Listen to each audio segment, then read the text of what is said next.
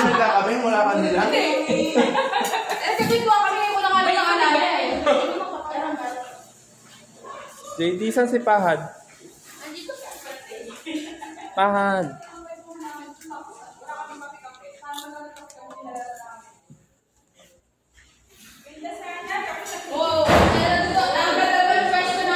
Kaya pa yung kagabi, ano, dito yung pwesto natin. Oo. kami po pwesto yung sa Ay. ano, yung parang duyan na upuan. Oo. Yun. Tapos nakalawa ko. Nakatulala ako. Nakita ko yung kettle. Sabi ko, sana pala nagkape tayo doon. Nagduyan-duyan pa kami. Kwento namin yung ano, Oo. ano kayo papamana sa atin ng nanay natin. Dumama.